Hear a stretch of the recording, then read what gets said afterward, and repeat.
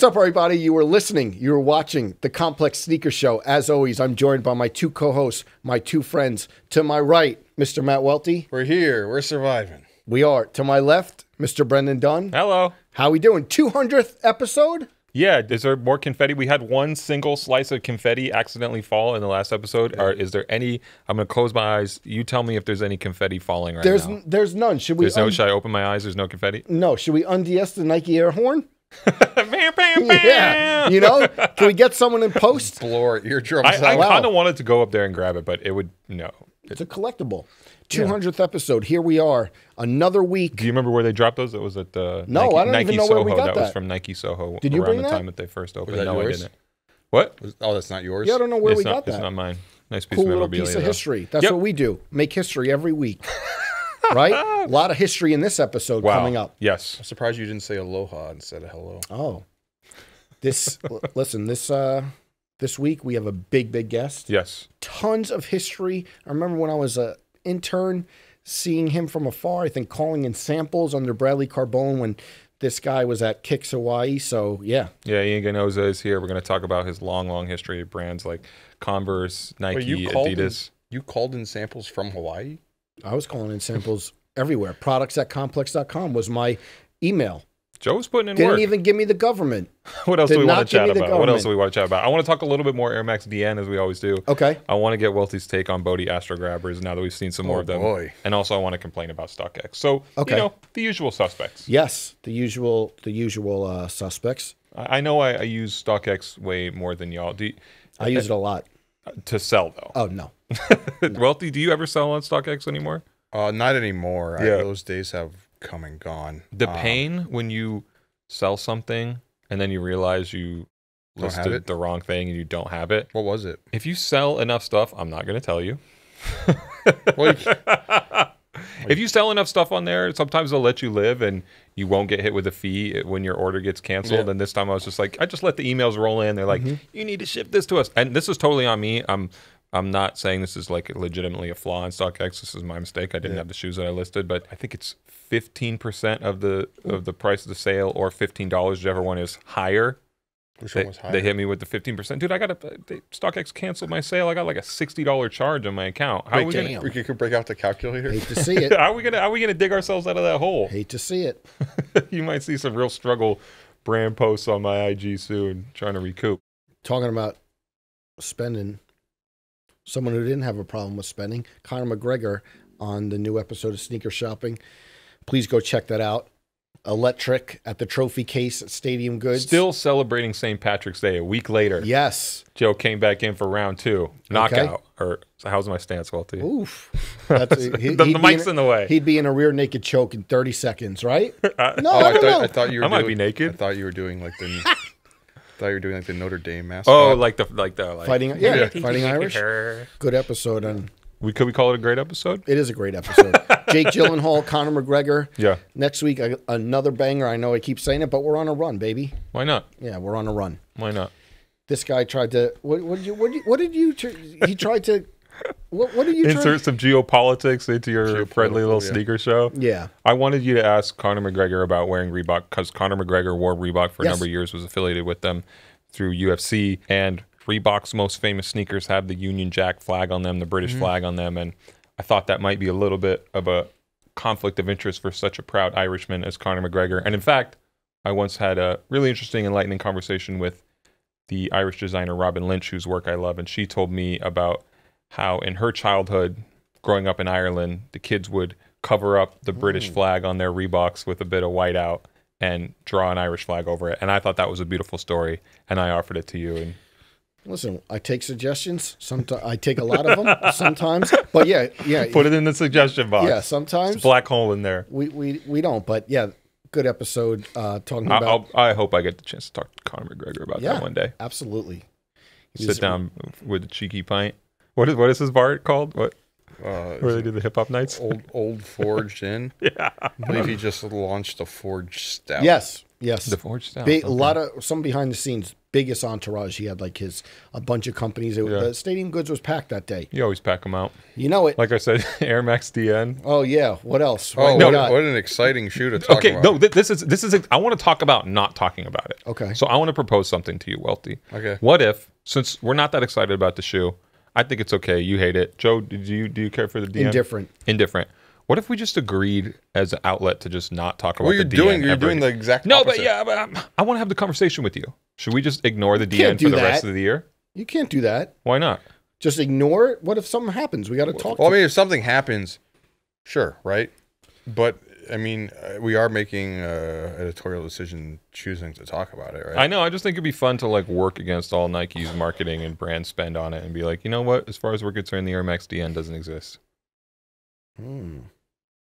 Didn't you do an interview about it? Yeah. Well, okay, so what we'll- we'll do the did one- You, we'll did do you the- play? Didn't you play a role in the cog? Oh. Well, Oh. listen, we wanted to review the shoe. We wanted to get the story straight from Nike, but if they're just Okay. going to slap a bunch of Volt colorways on it and industrial blue shades on there and things like that, then, then like I don't think we need to talk about every. So, can, should we put an official moratorium on the DN right here, right now? Sure, unless there's something actually exciting about it, right? Yeah. yeah, I'm not agreeing to that. You're not. You're going to talk about the shoe. I'll do what I want. You're going to get. That's true. That he will. You will Do do, what what I he want. Probably going to host the Air Max Day. Like, no, maybe. Why not? Could Air Max happen. Day 2025. Could happen. right to the camera. Spike the lens. There we go. Spike the lens. What about the Bode Astro Grabbers? We've seen a little bit more of them now, Welty. Oh, um, Well, the black one stinks, right? Okay. It's just it's just I like the black one better, but the go on. black one. Like reminds me of. Yes. I know everyone says it looks like a shoe that people played football in with like leather helmets. Mhm. Um, it just kind of reminds me of back in the day when my dad was like, "Hey, I got a pair of uh, soccer shoes that that you can wear," and goes into the basement and pulls out a pair of Patrick's from like the early '80s or '70s, just like black leather. That's how the Bodes make you feel. Yeah, and they were a turf shoe as well, so it had a, a similar. I feel like uh, Io got him off though. I think she looked good in the sneakers. That helped convince me. Although maybe I didn't need that much convincing. I've, I've kind of been I interested. mean, I in think this the from the start. white pair looks significantly cooler. See, I have to disagree with you there. But I'm, a, Oh. I'm a leather sneaker guy. Not a cool shoe. Give me a little bit of leather. Actually, give me a lot of leather. How is China? we, should, we should just say, right? We're filming two in one day. Yeah, we, we yeah we filmed this early. Yeah, so uh, I so we filmed. Yeah, we recorded this before I left for Complex Con Hong Kong, and I have to say, Complex Con Hong Kong was amazing. Wow. and delivered Wow. on every front. And I had an incredible experience in Hong Kong and got to know the local culture there and met a bunch of good people. But really, but And- really, yeah, you but- should do your disclaimer just in case any news drops. And Yeah, right, right, right. It, it's so funny in, in my mind you throwing out like some sort of just like pretending that Yeah. like you Generic. know, that everything was great, and then I mean, fingers crossed. oh god, I don't make it back. no. No, but like so, like some situation could have occurred that you have to like actually not not saying to discuss, Yeah, yeah, but yeah. just you don't know. Like, yeah, no, I'm okay.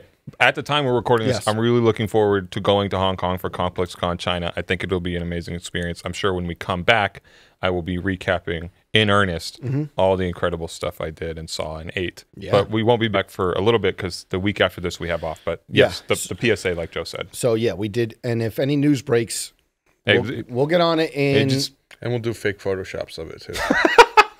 we'll oh, do some we'll do some mock-ups. All fake narratives. what else? We have a great guest. Let's Yeah, well, listen, we have a great guest. So the banter's a little short because we wanted to get.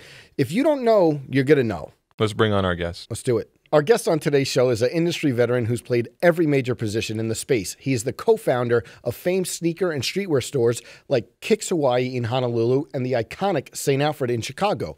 Over the span of his 25 plus years in the industry, he's held major product and marketing positions at Converse, Nike, and Adidas, working alongside Virgil Abloh, Tom Sachs, Tyler the Creator, and Beyonce. Currently, he serves as Global Vice President and Creative Director of Pinnacle Product at Vans. Here to talk his extensive history, please welcome Ian Ginoza. Ian, thanks so much for taking the time. Welcome to the Complex Sneaker Show. We always, uh, obviously, we have the sneaker cam, but what are you wearing on feet? half cab Vibrams. Okay. So these are the one of the part of the OTW main line. So obviously OTW is tasked with working with collaborations and, and and and through entities and individuals, but we also have a very compelling main line, and this is the first kind of release of of that main line.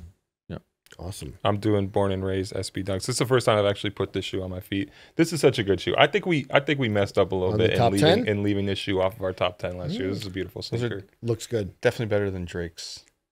Nocta Yes. sneakers. Mm. Rest in peace, Spanto. Yes. Absolutely. I'm doing the olive colorway of the undefeated Terra Humara.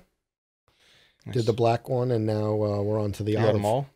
I don't have them all. I have these these and the black ones. But yeah, I have them all. Uh, just doing Joe Fresh Goods 993s. okay, Very nice. classic. You know something that's embedded in my mind. I, I don't want to get too all over the place, but you guys did the three feet high vans back in the day, right? We did Kicks with- high. I remember it was a DQM that was like a look t- like chef the, the, the butcher paper, right? chef yeah, pants. like the- Mhm. And then I just remember Kicks High was part of that package. Yeah, it was uh, Kicks Hawaii Huf at the Yes. time and DQM, and we kind of all grew up together. And Yeah. well, obviously they're from New York, but Mhm. when they would come to San Francisco, where I was based, we would click up and go skateboarding. And then when we opened up the shops, we just kept it moving. Yeah, and I remember just early Complex magazine days and uh, you know, Bradley working with you and that's Yeah. like you first got on my radar. So happy to have you here again. Thank you guys for having me. Some me. years later, Yeah, right? yeah. This Yeah. guy has such a long, long history. You're one of the guys in the industry who I've always wanted to talk to, and I'm I'm happy we finally have Oh. a chance. No, I So I appreciate think it. the first one I uh, heard of your name is like on the Hypebeast blog. Do you have a Hypebeast blog back in the day? Yeah, Like the- before uh, social media and all that, Yeah. there was a blog that Kevin was doing at Yeah. Hypebeast, and I was yeah one of the bloggers. And like Yeah. Lupe had a blog as well. And Mhm, then on mhm. Paris Tokyo, he shouts out you and then like half the other people who are on the Hypebeast blogs at the at yeah, the time. um, I met Lupe and Verge and that whole clique when we opened up St. Alfred Mm, in in Chicago. Chicago, yeah, Ian says aloha. yeah, aloha. was that a big moment for you when he put your name in a song um, like it was unexpected, but you know, um, you know, I I love Lou. He's still one of my favorite uh, lyricists. Yeah. You know, and I think you know a lot of people's favorite lyricists, and you know, um, I also love Chicago. You know, I think uh, that city really embraced St. Alfred and myself personally when I was there, and um, yeah, it was it was a blessing to kind of meet the creatives there and and everyone else. You know, obviously like Don C and Verge and Nigel. Virgil and was in the mix even back then. Yeah, actually, Virgil stepped through the doors probably in the first couple weeks, and Mm. he actually um, worked with me on photo shoots and graphics and and all that. You know, so At St. um, Alfred. Yeah, for St. Alfred. So yeah. they were doing like RSVP gallery at the Oh, same the time. RCP Before. came, Yeah, way- came, yeah, came yeah. after you, way after that. Yeah. what was Um, that crew like in the early stages of Chicago, which St. Alfred, like kind of in the streetwear sense, would, Yeah. would have been? What was that crew like? It was good, man. Yeah. Like you know, I think you know what what I always said about Chicago is, you know, um, the community was already thriving already there. It's just that nobody was really like servicing them in Mhm. that way, right? And, and the, the creative community was extremely vibrant. You know, as Mm. far as the artists and the musicians and everyone else. And I mean, in the first month, you have like. You know, everyone from like Twista and R. Kelly's guys coming Mhm. through, the Don C and Verge and, and Hollywood Holt and, Yeah. and Mano and Yeah. that whole that whole lot, right? And Lupe and and uh, Chili and all those guys were falling through the spot. So it really became this hub immediately. And um, you know, being from Hawaii, it was uh, you know, it was kind of like a a stark contrast from what Mhm. what Yeah. I was used to, but. I also love the music scene from from the style of hip hop, but also the house music scene, Yeah. which is amazing there, right? And uh, you know, I was a from Frankie Knuckles to that whole thing. I was like, you know, to to really kind of ingrain myself in in that community. It was, yeah, it was it was a time that I definitely cherish. Love Chicago. Big Jordan boom back then. Was that what they were coming in for and stuff like that? Yeah, I think so. But I think also what was interesting is they were coming in for a lot of the apparel. We were bringing in a lot of Japanese streetwear hmm. brands from Visvim to Neighborhood Okay. to Double Taps, and that wasn't really available there at that time. And Lupe was a big, you know, Yeah. a big course. fan of, Yes. of of that whole like community and and all those brands. So you know, we we clicked up pretty pretty early on, and um, yeah, and then yeah, and we were also bringing in you know, we brought in a lot of vintage sneakers. you know. Okay. So when we first opened up, it was like wheat Air Force Ones, Oh. and you know we had like a treasure chest that we kind of. So you were like reselling shoes at the store while having the retail accounts at the same Yeah, time. absolutely. Was Nike okay with that, or I don't know. we, we we did it anyway. Yeah. You know what I mean? I think it was again, it was like um, the community wanted what they wanted. Were you getting those shoes from like overseas and trading, or it was just like local sourcing? No, it's just stuff that we've always had. Mhm. You know what I mean? And I think it was, you know, I mean, I was a big collector, and so were uh, we had a consortium of, of friends and people that that kind of did that, and yeah, that's kind of how we we opened up. We opened up in the city. Were you guys going and like cracking mom and pop stops? Anything like that? No, I mean, I was doing a little bit of that back in the day. Yeah, but clear out know, the basement. When when we opened up, uh, it was you know we opened up with accounts and and uh, and again we didn't open up with a gang of vintage, but Yeah. enough where people would come through and be like, oh, look what they got on the shelf, and then it started to like word of mouth and Yeah. kind of kind of kept it moving. But you know there was great people like the Dave Jeffs of the world Yes. and, and all that. Shouts to right? Dave so, Jeff. You know, yeah, shout out to Jeff, Dave. You know, so it was um yeah like the again like.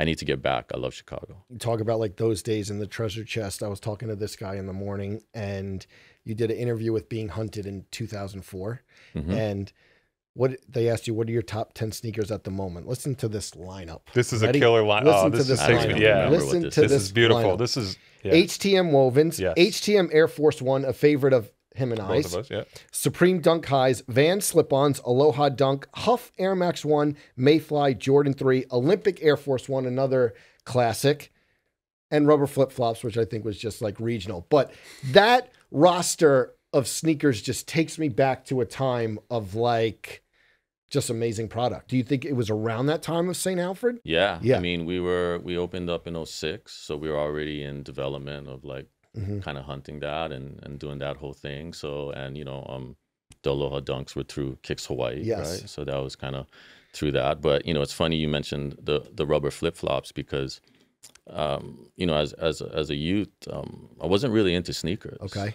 I was I'm a Hawaii kid, you know, Mhm. so um, I I wore flip flops and, and, and rubber sleepers and Yeah. locals and things like that. You know, it wasn't until I got into skateboarding and basketball that I really got aware and and and focused on sneakers. And you know, Vans was one of them, obviously with skateboarding was one of my first kind of uh, brands that I connected with. And then you know, through basketball, it was Avias Mm, yeah. and then you know I was short, so I you know Spud Webb, Okay. Pony City Wings, There we go. things like that, right? So I was always it was always through uh, those those two loves of basketball and skateboarding that kind of connected me to your time at Kicks Hawaii, and you mentioned the Aloha Dunk. How did Mm-hmm. that shoe come about? At the time, the the dunks were were kind of on a little wave, and uh, you know um, Nike was kind of talking to us and and asking us what we would like to do, and you know the dunk was obviously like a, a focus at that point that we wanted to do, and um,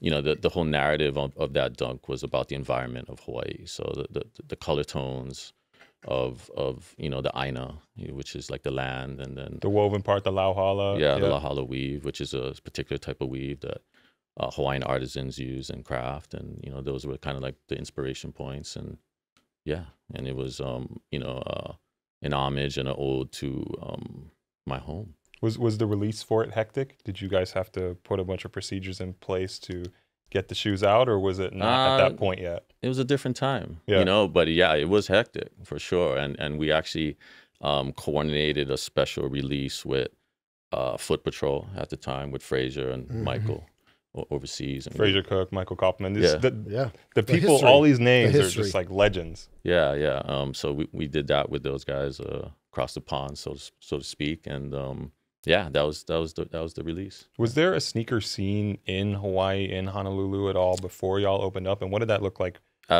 you Absolutely, up absolutely. You know, um, I think you know in the first week, um, you know, some dear friends of mine, this guy Blaze Sato and Chris Cam and and Carrie DJ XL, like we're already kind of like deep within that community, and you know, Nocturnal Boys, uh, these DJ crews that were um, that were you know uh, they were kind of moving around, and they, they already were very kind of uh, knowledgeable and, and into the scene. It's just that they never had places to buy them, you know. And I think as a as a kid growing up, that was that was my life experience. But my father would take me on on my father and mom would take me on a trip to quote unquote the mainland, Mhm. um, you know, once a year. And when I go to San Francisco, I go to Harputs Mhm. and I drop in and grab, grab some Addies and things like that.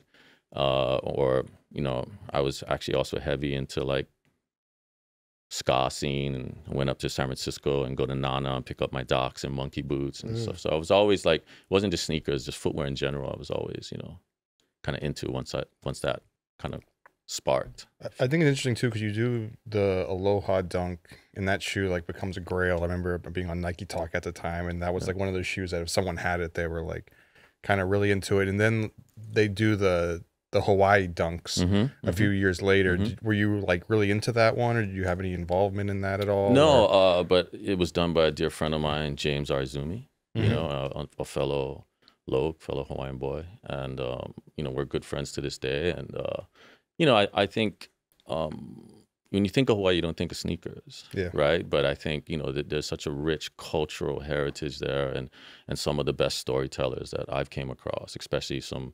You know, dear family friends of mine, Sig Zane family. You know, they're amazing storytellers, and I think uh, what James did with that dunk was was incredible.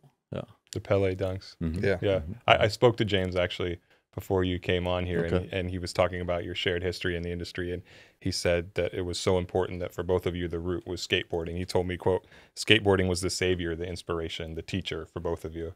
Yeah, I think again, like you know, until um, skateboarding came along for me, uh, I didn't really care about sneakers. Yeah. It wasn't it wasn't a thing. But you know, obviously, like you got kids skating barefoot in Hawaii, but Wow. I, I wasn't try- Really? I wasn't trying to do that. Barefoot, Yeah, absolutely. and they can actually rip. yeah, I mean, there's this kid Cully and a few other guys that would like be skating bowls and pools barefoot. It was- Wow. Yeah, it was with gnarly. like with grip. Do you still have grip tape? yeah, like, yeah, yeah, yeah, yeah. That sounds painful. What was the first like? super heavy. What were the first like skate shoes you were skating in? I was skating in skate highs. Okay, for sure. That was my thing. Eras, Mhm. and then later on half cabs. okay. Yeah, the Vans presence in Hawaii is such a cool story too, through all the surfing competitions and things like that. yeah. You know, I think also you know through like even like you know the Venice guys always had a, a connection to Hawaii as well, like through Scott Oster or Jeff Hartsel or the, these types of people, right? And and Vans, you know, also. Uh, the surfing thing, right? So Vans is also very supportive of the surfing community, and to this day, still still supports Hawaii in, in that way through like various contests and, and local grassroots kind of thing. So Vans was is out of like all the brands, uh, I think they're the most connected to Hawaii. Sure. Um, talk about skateboarding. Early on, you work at iPath.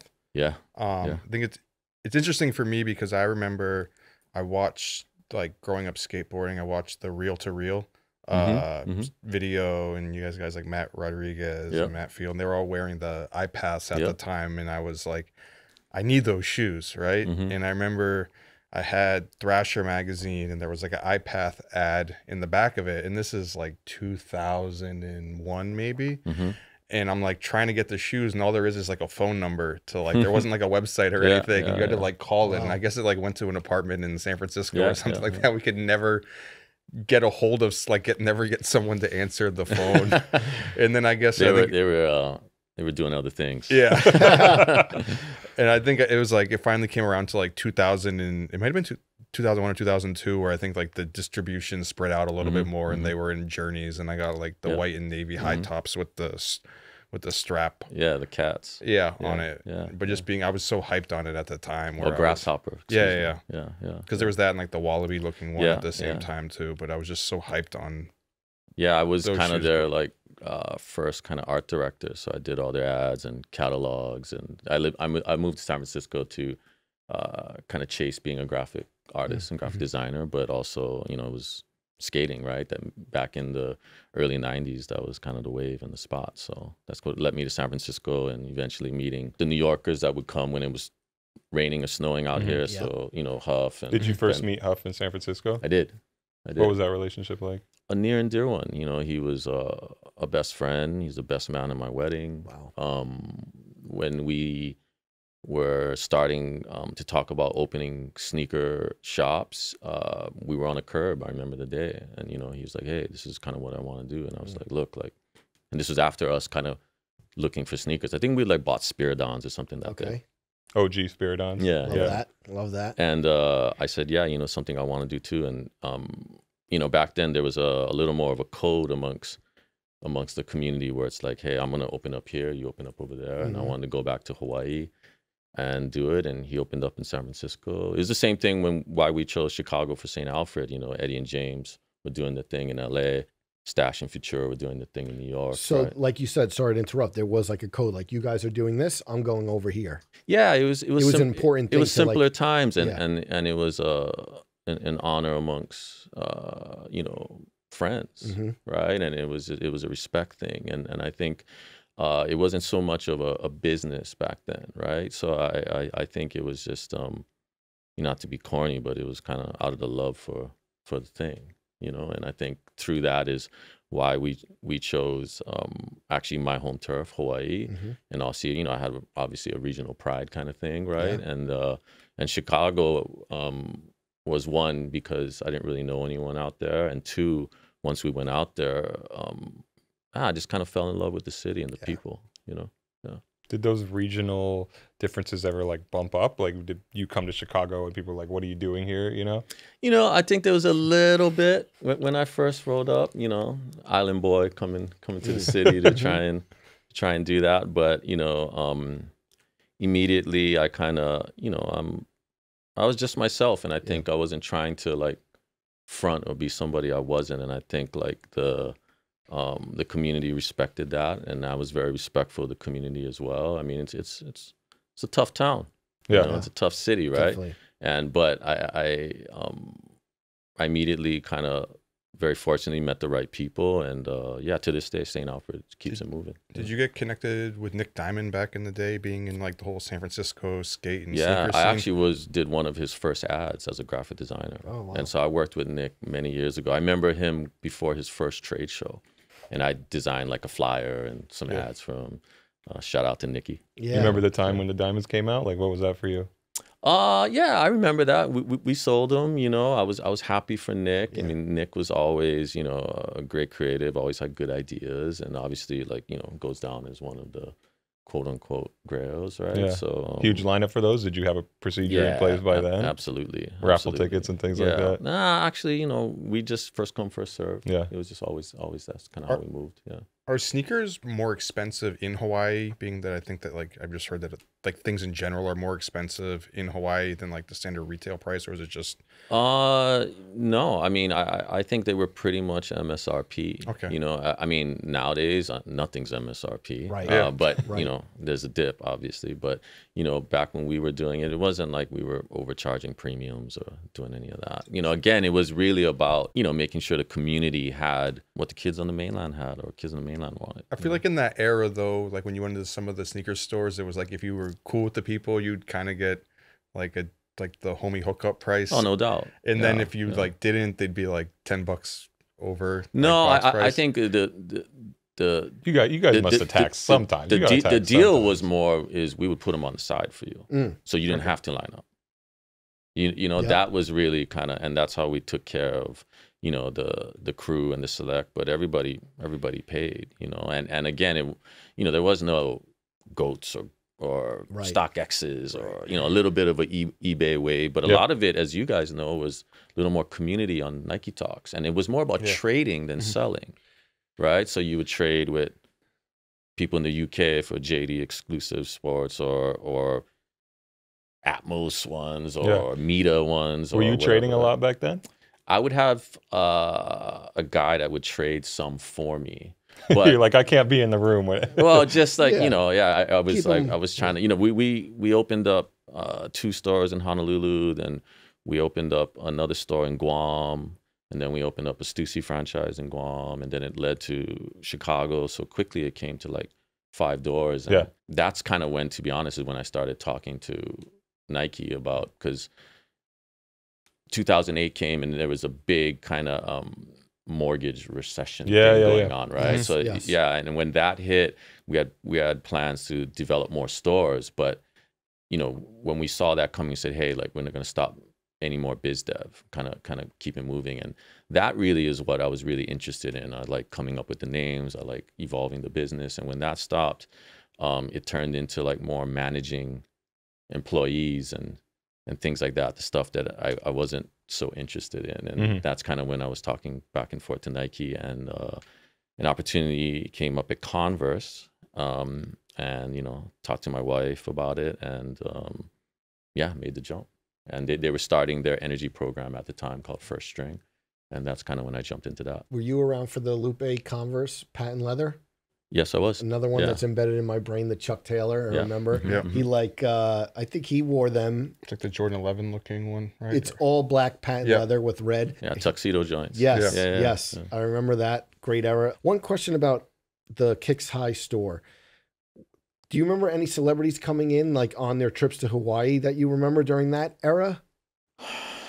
I mean, there definitely were a few. Um, Any fun ones that stick out? I went in 2012. I don't think I left That a big doesn't- mark though. My boy on the wall. yeah, I would remember that. Um, you know, I mean, my, my memory's so fuzzy. Mm. Uh, we'd have a lot of like Japanese designers come through.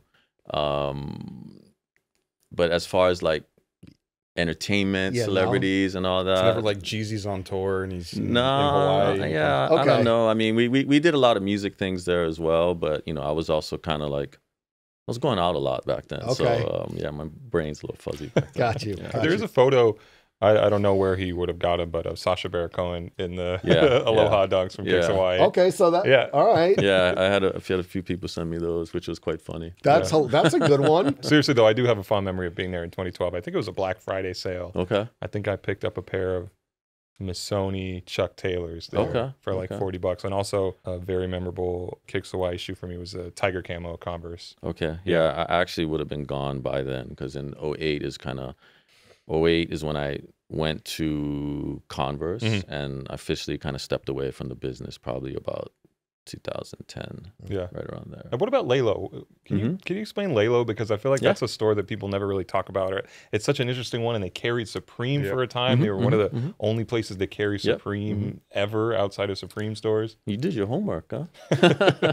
uh, yeah, I opened up Leilow with a, a dear friend of mine, Jules Gayton, Mm-hmm. and uh, Jules, um, OG skater and and and Supreme Stussy crew Mhm. um, guy. Uh, um, he moved to Honolulu with his with his wife, and you know we got connected by a dear friend named Giovanni Estevez, like one of the OGs at Supreme. You know, Jules is an amazing vintage hunter. You know, so like you know, incredible knowledge um, uh, from vintage luxury to vintage Americana to to vintage everything, and and uh, you know the the it was spelled L E I L O W, Yeah. so it was you know obviously a nod to Hawaii, Mhm. and uh, we opened up with Supreme and Neighborhood and Double Taps and Visvim and A big and- deal. yeah at the time it was it was it was a big deal and and um you know that was more of a a, a labor of love and and being fans of those brands. You know growing up in hawaii i would go to japan quite often. It's only six hours away right? But it's the same distance from from me to go from hawaii to california. So i would go to japan quite a lot. And uh and we opened up with vintage and it was vintage Duke Kahanamoku Hawaiian shirts and vintage Levi's and you know vintage Cartier and these types of things. So it was a it was an interesting mix, and you know that was all through the curation of, of Jules, you know, and um and uh, and that was really a labor of love. The shop didn't make a lot of money, but Mhm. it was still to this day one of my favorite stores in the world. That and the old Number Nine store in New Mhm. York. That was always Classic. another big one for mine too. You, you briefly mentioned the Stussy Guam. I just always, always thought that was interesting because I remember looking up on a map like 10 plus years ago, Mhm. All the Stussy chapter stores. And I'm like, wow, there's a store in Guam because it's hmm. just like the furthest place away Yeah, from you know, the United States. And I have to imagine that Stussy Guam t shirt has to be like the rarest, you know, like Stussy chapter t shirt because I know people try to collect all of Yeah. them. Thing about Guam is well, one is really beautiful. Yeah. And and the people there are amazing. Mhm. Uh, and it's really close to Japan. It's like three hours. Mhm. So I think a lot of uh, vacationing Japanese or, or Koreans or Chinese they choose Guam, and, and it's a gorgeous place. Like you know, and we opened up right in Tumon Bay, which is kind of like the Waikiki of Guam, and we had like some prime real estate there. You know, our partners had a had a great uh, real estate holdings at the time, and and uh, a friend of a friend of ours, Rich Cho, kind of connected us, and you know, fellow Guam boy, and yeah, it was we decided to you know talking to David Sinatra and at the time Frank, and you know we we opened up Stussy. Do you still have any of the Guam shirts? Did they make Did they make a Stussy Guam? I, I, I- sure I'm sure I, Yeah. I, I still have some someplace. I got a storage facility back in Mm. Hawaii with everything. The, the Stussy Kuala Lumpur Yeah, we went to- t-shirt is that one was of like- your favorites. That was like we went to yeah we went to Kuala Lumpur and there was like the Stussy store there and I remember the first time I I skipped on buying the the Kuala Lumpur Stussy shirt and I'm like that's so stupid that I skipped out on this because you can't buy it anywhere else yeah, you yeah, know yeah, yeah, absolutely, absolutely. Okay, so we're going to a few different places in your timeline here, but I want to get back to Converse, hmm 2008. Uh, You said when you, you went to Chicago, that was a bit of a culture shock for you, but I imagine being in Boston felt even more intense.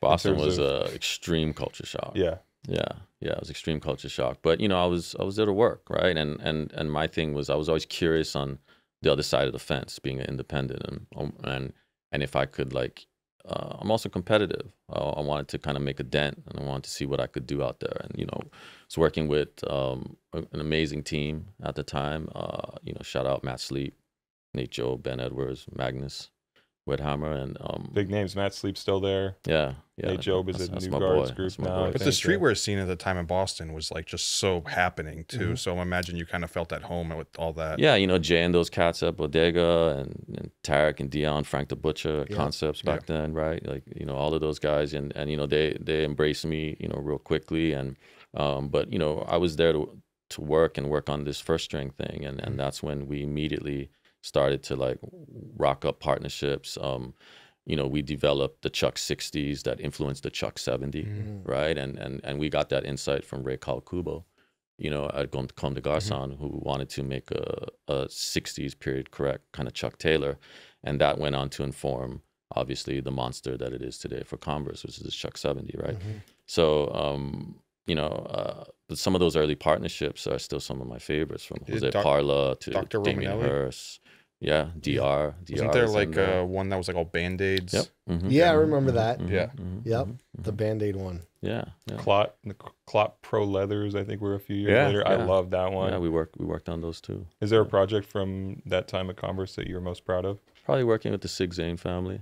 Yeah. Yeah. You know, they're, they they are close family friends of mine. You know, they named my son, right? Like, you know, I got a deep connection with them. So, you know, you know, Hawaii's always a soft spot and always home for me. So was that before or after the fragment uh chucks that had they're like the all red pair with like the red toe cap on it And the black one with the the Yeah. Friends of Fit. Yeah, yeah, working with Hiroshi as well Yeah. during that I time. love those. I actually those I wore those black chucks a ton. Dude, the red chucks. I wanted those so bad Yes. back then. Oh my god. Yeah, and then obviously um working with Takahiro Miyashita from number nine. Mhm. Yeah. I think those are probably my- probably one of my favorites. these are like the running shoe too with like the hairy suede on it Yeah, yeah, yeah.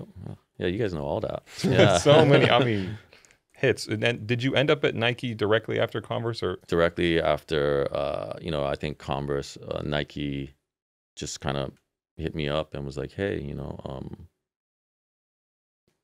whatever we're we're Yeah. trying to reset kind of the energy thing here and what you year know, was that? let me see 2011 or 12 somewhere Okay. around there somewhere around there i think i think it was uh, i think it was at converse for about three years yeah and uh and also you know i um Boston's cold, man. You know, it was, it was, it was a, it was a, it was a, a little, a little much for me. I spent a lot of time in New York that during those years because I would just catch a train on the weekends and kind of go down there, and that was when I really kind of got to move around New York a lot, which is great. Was it ever a question for you whether or not you would go to Nike, or it was too big a thing? to? Um, you know, I, I never really thought about it until they, they started courting me. Obviously, like you know, it was within the the Inc ecosystem, Mhm. and, Right. and and uh, but when they they hit me up, you know, for me it was. Um, and I got hit up a few things on different propositions, but right, wrong, or indifferent, I always just love this space, Yeah. right? You know, and, and and working within the energy space and and within the collaboration space, and also with pushing innovation narratives and creating new forms and, and new expressions. And I think when um, uh, Greg Thompson at the time, Tomo, hit me up to kind of talk, came over. Um, I just clicked with him. To this day, uh, he's still one of my favorite people. Yeah. And uh, it was it was good to kind of go and go and cook with him over for a while. were you there for air yeezy too during that period you said like 2011 2012 Yes, I was. How big was that? Um, yeah, I was there for Red Octobers, Wow. and and you know it was funny because I I still have a pair, and we made some for Baby North where there's, oh there's yeah like, the rubber pairs injection molded Yeah. kind Oh, of wow. kind of Crocs looking kind of vibes. What was that time like? Those early years of you getting to Nike and like projects like that must have been compared to like to the other ones? I think it was a moment getting within those walls is polarizing for a lot of people, Mhm. you know. But what, what I really liked about it, even more than the brand, or the people I met Mhm. and I worked with. Those are the things to this day that I cherish: the designers and the the thinkers and and um, the thought partners that I had there. I thought um, that really kind of challenged me, and I think in, in in my way, I challenged them. Together, we got to places and and projects and and product expressions that uh, kind of stand the test of time. And, I got really close with Fraser at that Mhm. moment as well, from Foot Patrol days to to Nike days. And so, yeah, it was a What's It's a good Fraser like? Because to me, like you, he's he's somebody who's been in this It's, like, industry for so long, but a bit of Mhm. an enigma, and somebody who you don't really see in the public that much, but has influenced and affected so much. You know, just like myself, I'm kind of a behind the scenes guy. Mhm. I'm not, you know, I'm- you know, my IG is private. I, I kind of stay behind the, the thing. I kind of let the work, you know, to me, the, the, the beauty's in the work, Mm. you know, like that's the good stuff. And I think, I think, you know, if Fraser was here, he'd probably say the same thing. You know, he, he loves the work and he's a, you know, I, I think both of us, both of us are, are really curious about culture and, and space and, and those types of things. And we love fashion and we love footwear. Fraser's, uh, one of the good ones. Yeah. That must have been such a big transition though, because you know, you talk about early on like kicks high days, hypebeast blog days, like kind of Mhm. like pre-social media where like you were viewed at some point, I guess, as just like a streetwear cool guy, you know, to like the masses of kids online and maybe in person, and then social media, Instagram following didn't matter, and then all of a Mhm. sudden, now that's all that matters, you know. But you had like such a big reputation in the space that maybe you didn't even need feel the need to have like a reputation online. from the social media standpoint, I I think it matters to people who who think it matters. Yeah. You know, I, I think for me it doesn't really matter for me. I, I, I think and you know, for me an, an opinion is only as worthy as the person it comes from. Mm. And and and it's really about like um you know it's it's I like my click small, you know, and I and I like very personal kind of interactions and dialogues and conversations and you know a lot of the the the friends that I met back then are still friends to this day. But but I, I love meeting new creatives. I love meeting um, uh, new quote unquote disruptors Mhm. and that have like unique points of view. And and I think um, you know that there's I- think that that's what I really like about this space is being able to interact and meet new creatives. And and and Nasi works with ones that that also that I've also revered over the years. The, the social media thing is interesting because I think what it did was make people uh, very aware of photography and and and and, and marketing, right? And which I think is great, and and I love that. Uh, you know what the youth is doing today with it is quite amazing. You know, um, but for myself personally, I didn't grow up in that that era or that um, that wave, right? So I never really fully adopted it, but um, you know, I, I use social media mostly to stay connected to friends and to meet new people. That's kind of my thing. It must Yeah. be nice to, to not. I wish I wish my brain could free me of, of being Shut obsessed those with off, it.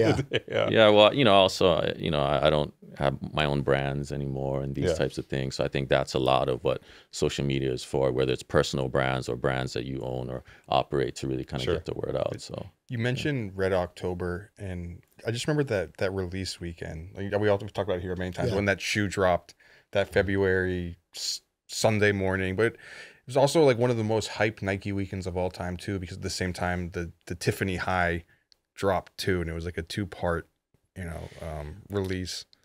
Yeah, I mean, to be honest, I don't even remember it. It was Yeah. it was so long ago. Um, obviously, I remember the the waves that it meant and, and the cultural impact, right? But um, yeah, I mean, it's I, I've been very fortunate to be a part of a lot of like Mm-hmm. uh, amazing projects over the years, and that's definitely one of them. HTM. One of my favorites. Yeah. What stuff did you work on with those guys?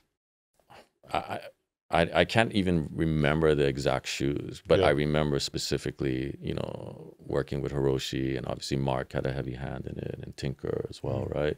Um, and um, but my favorites to this day that I, I is not the ones I even worked on. It's the wovens. Like Yeah. those are those Yeah. are my jams. Such a special time in footwear. Yes. Woven HTM or like like we were saying HTM Air Force Yeah. Ones. Like Mhm. I almost brought out the The ones that, that, I that have the were gonna ACG? Terra Humara sitting in my desk, but yeah. we'll save those for another day. Yeah, yeah. Did were you around for the first? I know again, just like all the all the people you've worked with. It's um, Tom Sachs. Like, were you around for the first Tom Sachs sneaker, the Nike Craft shoe in 2012? Uh, yes, I was. How did that go? Uh, yeah, amazing. Dyneema airbags, like the whole thing, right? Yeah. Like, yeah. So yeah, it was an amazing shoe. Um, there's even some stuff that didn't came out that's really, really crazy. These Really. like mid air mocks kind of things. And Yeah, all you see those in photos sometimes. Mm-hmm. From I, I think there were a handful of images, and even like the apparel. I always wanted to get that. Uh, it was like a gold jacket, right, or like the the was it- green parka, like almost like a fishtail kind the, of the backpack that you could uh, Mm-hmm, pack up. Did you go to the space camp that he had where you had to like complete it to win the shoes? Um, for the Mars Yard 2.0s, uh, right? 2.0, I did not go to the space camp. I was sick that day. Oh, you would have won. I would, I would, I would have been there at the space camp for sure.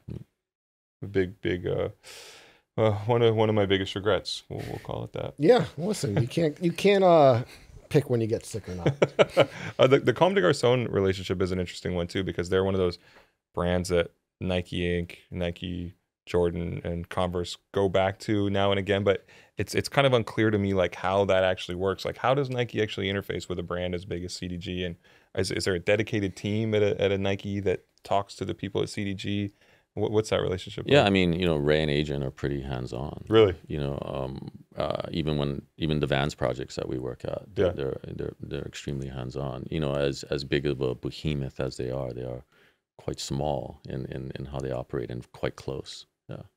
Yeah. Interesting. I think that's in that, that's actually really interesting to me because I guess there was always just a perception that you know that Rei didn't like design the shoes herself, and there was just like a team doing it, and it just kind of got signed off on or something like that. But Nothing gets done without Rei's. Hmm. yeah, Like okay, yeah, Really? yeah, yeah. She is, she is the master. Yeah. How much time did you spend at Nike during that stint? I know it was back Uh, let's see. I went from Converse to Nike for a few years, and then my son was being born, and I wanted to raise him by the beach, hmm and it was either uh, going back home or going to California, and that's when I was going back to Cal. I decided to land in California, and that's when um, they said, "Hey, like, uh, we want you to." Converse would like you to kind of come back, and Mhm. and um, you know they wanted a stronghold in. Uh, Wait, they got a beach in Oregon. yeah, they got beach in Oregon. go It's a little surfing- cold out there. It's a little cold out there. A little cold out there. So um, uh, I, I joined Converse again, and that's when my son was born. My son was born in 2014.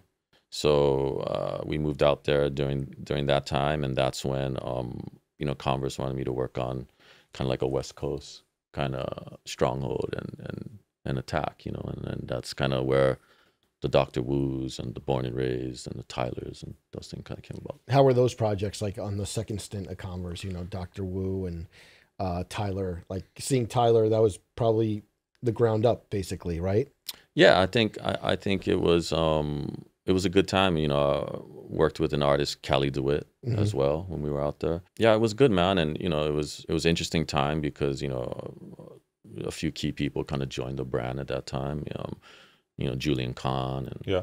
and, and, Mittleman, Mhm. right? Like these types of things. So yeah, I, I, I enjoyed the time there, um, but it was it was short lived because that's when um, you know, 2017 hits and Ye's at Addy, right? And And then, and then so how did that Converse to Adidas go? that's when yeah, I got the call like, hey, you know, let's yeah, Cook again. yeah. So I went back, and that's when Mr. Abloh comes out with the 10, right? Mm-hmm. Yeah. is it Wex hitting you up at all to work on that or Wex? Yeah, Uh, at Adidas. Uh no, that that's no. I mean, I actually met Wex at Converse. Right. He- Okay. Way back. Yeah, Yeah. way yeah. back in the day. He actually worked on shout out to Mr. Wexler. He actually I worked with him on my Kicks Hawaii and my own kind of solo red kind of kind of shoe with him. Um yeah, I love John. He's he's amazing. Um you I don't have to tell you guys. Um Yeah. but no, during that time I wasn't uh speaking with him when he went to Adidas and and you know obviously pulled off like one of the greatest signs right I I went back to Nike, and that's when um, you know we got together a small team, and you know again the Nate Jobs of the world, the Fraser Cookes, and all of that, and and you know some of the great leadership there. That's that's to this day. Chris Wright, like I love Chris as well. You know, it's to this day one of my, my dear friends. There's there's a lot of good people that that when Chris I- Wright's like leading all of footwear Jordan Brand now. Yeah, he is. He is. You know, again, like um, yeah, I love that guy. So Virgil and them start cooking at Nike, and that's Yes. when you come back into the fold. Yes. Got it. So you were there for the 10. Yeah, I came in at the tail end of that. Yes. Okay. Mm-hmm, mm-hmm. How big was that project for Converse with the Chuck Taylor? the Chuck Taylor part, yeah, it, it was it was a big one. I, I think you know it was the outlier, right? Yeah. Of, of that whole thing, and and and and arguably one of the ones that people most kind of were drawn to. It was like Um, one of the hardest ones to make, too, yeah, right? yeah, yeah, Virgil Virgil did his thing, you know, and and again, I came at the tail end of that. You know, that that was already kind of Paul In- Mittleman was working on that, I in, think. that that was kind of already in play with with that whole crew. Um, but it was good to get reacquainted with him, you know, because you know ever since Chicago, I hadn't kind of kind of worked with him. So Do you remember him trying to put the did, did what did he want to do? Put the Jordan swoosh on the Converse or vice versa? Didn't he want to do that? I think originally he had wanted to do a Nike swoosh on the, on the Converse, right? Yeah, he did. I, and actually, there was a an artist. I, his name is escaping me, but that was doing it in uh, Los Angeles already, which was quite interesting. Maybe it was Which- Mike what- from which- Chinatown yeah. Market. There's the Chinatown Mar- with like the I think LeBron wore him back in the Market. day. Yeah, maybe, yeah, yeah. yeah. Yeah. Maybe, maybe. Yeah. But you know, I think, it, you know, I mean, I remember the first time going into Union here and buying Louis Vuitton like Yeah. bootleg Air ones, right? Yeah. Wow. Those kind of things. So Way back, yeah. yeah. It's so interesting too to see these people come back around. You've stayed in touch with Virgil from those early Chicago days, or A little bit when Yeah. you know when he had RSVP and, Yeah. and all that. You know, when I would go to Chicago, I would see him, and and and obviously like um, you know, seeing his trajectory and his heights is is is nothing short of amazing. Like, uh, yeah, they broke the mold when they made him. yeah, Definitely. I remember at the time I had written a story for or for Complex, kind of uh, going around that Nike had picked up Virgil because they lost Kanye, and he they needed him to like fill in that like hype gap at the time. Yeah, I'm not sure about what what the narrative in the story was, but I know that you know Fraser and Cristiano were, were the two biggest kind of supporters of of you know bringing in Virgil at that time. And when I got there, it was just kind of getting reacquainted with Hmm. an old friend and, and kind of kept it moving. Cristiano Fagnani. He's the Mhm. CEO at Off White now, I think. Uh, at at New Guards. New Guards, excuse me. Yeah, Mhm. owner uh, group. Yeah, another another dear friend and a, another amazing individual. Yeah, absolutely. Didn't didn't you work on something with Frank Ocean and Nike at some point? There was a little. A little Oh, what was that like? what can you give us? We had a meeting. Yeah. Okay. talked a little bit. Nothing never really kind of came out of it, but obviously like a massive fan and incredible creative. And Yeah. you know, I mean, there's a lot of those stories, man, about Yeah. people coming through the the Stuff that halls and never the quite walls that, materialized. that kind of never materialized. You Yeah, know. Did the- I, there, the- there was at, one at shoe. company. yeah. There was one shoe Oh, that I heard a rumor that Nike Waffle Trainer 2 SP, where it ended up in the market, and people were like, "This was actually a Frank Ocean shoe," but I never, uh, never knew for certain. Maybe that would have been after your time with him. You'll never know. Yeah. were, were people at Nike were they like hyped on that song that he did, the Nike song, or was that like a thing?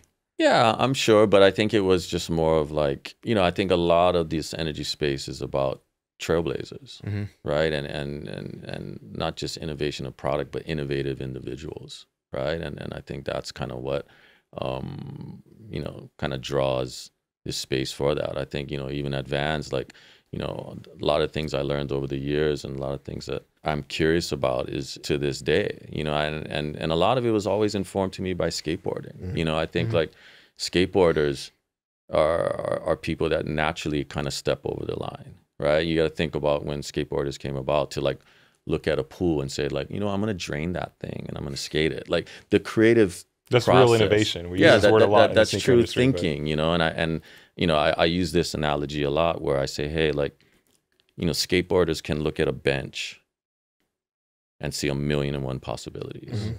where a pedestrian sees but a place to sit. Mhm. Like skateboarders can see the invisible in a lot of ways, right? They're, they have a very unique perspective on on culture and life and style and environments and et cetera, et cetera. And I think that's you know coming full circle like that to me is is where I come all the way back around. Mm. And and now that I'm at Vans, like I really get to like, uh, not to sound like corny or get emotional, but I get connected back to a true love, you know. Yeah. And I and I, I think that is what is um what I'm most excited about now, being at Vans. How did you make the decision? You were at Adidas for a few years. How did you Mhm. make the decision to? I, I, I, again, a, a, lot of it's through personal connections. You know, I Mm-hmm. had some some some talks, and and it was always the one brand that wherever I was at, I was always they're in my closet. I'm kind of looking at them, I'm like, mm, you know. But you know, my son was wearing them a lot, right? And I also feel like, you know, a lot of times, like especially in the energy space, like sneakers are so overpowering Yeah. that sometimes sneakers wear the individual rather than individual wearing the sneakers. And I think Vans is something that more is like integrates into your own personal style. And that's always a brand that was always near and dear to my heart because of, you know, for because of skateboarding. You know, I think a lot of brands play within space, but they're not from the space Right. right? Where Vans is like born and adopted by the community very early on, and you know, um, you know, after having the conversations and and and and it was hard. I love my time at Adidas, and you know, specifically individual uh, Torben. Um, Torben Schumacher. yeah, like I love that guy. Like, yeah, really connected with that guy. That guy, like, when we were cooking, it was a it was a it was a good time. And there's great people, you know, Brian Grevy and and Erica and you know Daniel and it, it, there's you know um, Eric. There's just there's Mhm. just some great people there. But um, what what Vans allowed me to do was. You know, I was either always on the product or the brand side. Mhm. I was never on both sides, and I, and I always kind of wanted, you know, being from the entrepreneur independent space, you do everything from empty the rubbish to design the shoe. that Yeah. I was like, hey, you know, I would love to look over brand and product in more of like a GM kind of capacity. So that's kind of what they were propositioned me to do. Mhm. And that's what got me excited. And also, you know, living in California and, and surf's better. yeah, all of that. And and again, my, my son, I was always going back and forth because my son's sponsors are, are in California. And he does, you know, again, we were talking about it, he does competitive jiu-jitsu. And so we were going back and forth a lot. And that's kind of when we decided to kind of make the full move. Did you have like a playbook already when you came to Vans? Did you know what you wanted to do when you landed? I didn't. I, I just had a love for the brand, you know, and I also felt like skateboarding, the industry is small, but the influence skateboarding has on culture is Yeah. vast, right? I mean, you know, someone like Virgil was a big part of that. You Mm-hmm. know, I mean, I mean, low key, when I would meet with Virgil, I walk into his atelier, Skating. he's wearing Vans, Yeah. Vans. Okay. you know, and he's like, and, and he's like, oh, you know, hey, you know, I'm like, oh, good man, like we, Yeah. just, we, we just talking here Yeah. Yeah. you yeah. know, and, and just have dialogues about it. And and uh, yeah, I think that was a full circle moment for me. And you know, I think at Vans, for, for what I always felt was that you know the, the influence skateboarding has on on the culture and broader culture of art and design and, and, and music and et cetera, et cetera. You know, it had a unique perspective when you put that through the lens of skateboarding.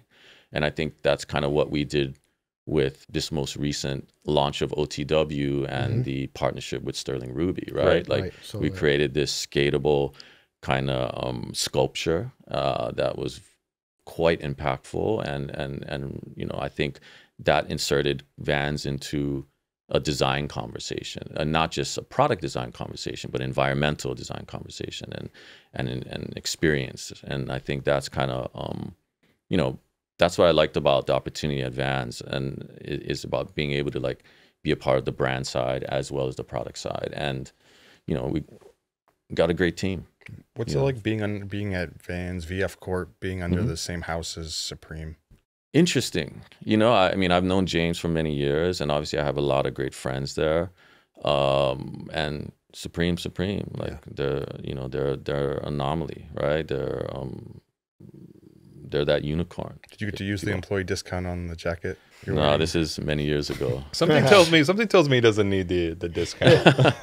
uh, no, they're they're you know the James and Eddie take care of me. Um, but uh, yeah, I, I love those guys, and again, another brand that um, has really dimensionalized and and you know born very humbly out of skate that has reached the heights that it's it's done today. You know, Do you remember seeing it for the first time as a kid? Do you remember where that was? You would have seen Supreme. Supreme, it would be when is when uh, Chris Keefe and Jones and Quim and Gio, Peter Bici, those guys would come to San Francisco and They were all wearing Supreme, and you you first notice the quality, like the sweatshirts. Yeah. you're like, oh, these are like dumb heavy, Yeah. and they're and they're good, and they just look better, you Yeah. know, and things like that. And it was, um, yeah, it's just you know, again, I, I think a lot of it in a lot of things, it's it's taste level, and James's taste is Yeah. is paramount. Yeah.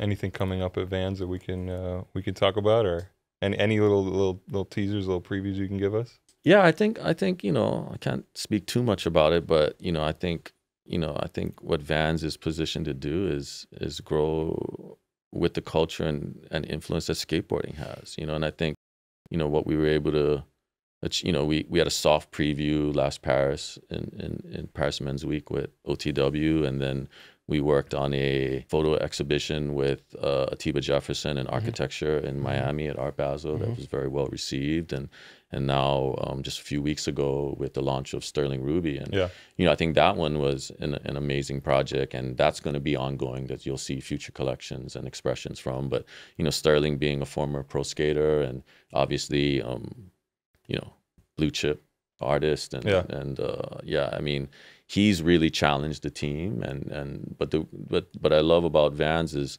you know the leadership there and and the leadership at VF is really embraces uh, creative thinking and progression and you know and I think at the end of the day I think that's kind of what skateboarding is all about and and what a you know it, as as anti as skaters are like they're very style conscious Mm. Yeah, yeah. their influence is vast and and rightfully so because they they move the needle Yeah. you know Such a cool place for you to land too. Just this idea you spoke about it, a bit, it being full circle, and just again, I was speaking to James before this, and one of the things he said to me that I really loved, he said, "Not many people could understand for someone from a small island in the middle of the Pacific to make it to where he is is like a miracle." oh That's that's, awesome. it's a good it's a I, I appreciate that from Yeah. from a dear friend and you know again like I, I I come to work and they live and breathe it Yeah. people are skating around there's wetsuits drying off of racks there That's- you know what i mean cool. if the waves are right you're kind of like oh where's everybody like Yeah. you know what i mean like and i, I love like you know that word authenticity gets Mhm. thrown around a, a lot and and is, it can be quite contrived depending how it's used but at vans it's it's the real thing they they eat live and breathe skateboarding and i think with otw um, you know what i like to say is you know um, it's kind of reorientation back to who Vans truly is, and and I think that's kind of what we're what we're doing there. And you know, we also have a dear friend, um, longtime colleague Drieke that just Okay. joined, and she's now the CMO that I worked with a lot of energy projects on at Vans, and yeah, we got some good things there. We look forward to it. Yeah, Yeah. thanks guys. Thank you so much for giving us your time. So much history. I'm old. So much history. but uh yeah, thank thanks again and uh looking forward to seeing the continued projects. Always cooking. Yeah, and you know, again, I also um, uh, I mean it when I say like I'm. I think what you guys are doing and the and the individuals that you guys choose to talk to are. Are, I'm, I'm always curious, and there's always great things, and I think you guys put a lot of people on to like stories and and history and narratives. That's that's that's really important, you know. And I think, um, you know, if you guys didn't know what was up, you guys wouldn't have the topics and the individuals that you have. So Thank you so much for Thank that. you, Ian. Appreciate it. Appreciate it, Ian. All right, everyone. This has been the Complex Sneaker Show. Actually, going to be off for a week, so we will see you in two weeks. Please like, subscribe, and we'll see you in two weeks.